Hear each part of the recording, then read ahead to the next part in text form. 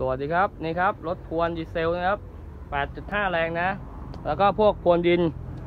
พวนดินนะพวนดินมีไปเยอะนะพวนศาสตร์นะครับแมคโครเรามีเข้าร้านไปสองคันนะครับ นี่นะอ้าวนี่มาดูตรงนี้ นี่ครับพวนดินเนี่ยพวนยกล่อง ทั้งนั้นเลยพวนศาสตร์